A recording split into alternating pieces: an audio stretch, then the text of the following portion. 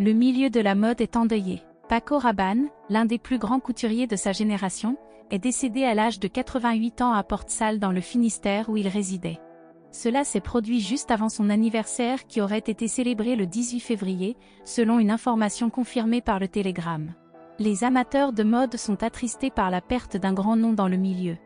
Paco Rabanne, de son vrai nom Francisco Rabanda y Cuervo, était une figure marquante du monde de la couture et du parfum.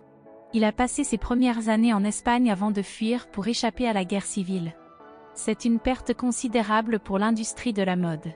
Après avoir quitté son pays d'origine, Francisco, désormais connu sous le nom de Paco, a trouvé de nouveaux horizons en France. Il a commencé par étudier l'architecture aux Beaux-Arts de Paris. C'est là qu'il a développé sa passion pour la mode et où il a lancé sa carrière. Au début des années 60, Paco Rabanne avait déjà réalisé que sa passion était la mode.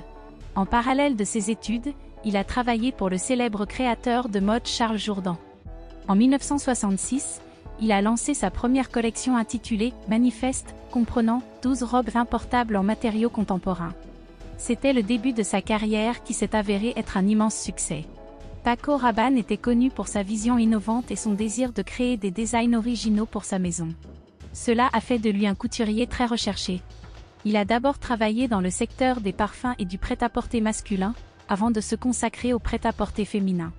Sa marque a connu un grand succès grâce à son approche novatrice. Malgré son immense talent, Paco Rabanne n'a pas été exempte de controverses. Il avait prédit une apocalypse lors de la chute de la station Mir sur Paris lors de l'éclipse solaire en 1999, ce qui avait causé une vague de moqueries. Cependant, il a présenté des excuses dans les pages de Paris Match, regrettant les attaques qu'il avait subies par la suite. Sa vie et son travail restent néanmoins un héritage pour les passionnés de mode.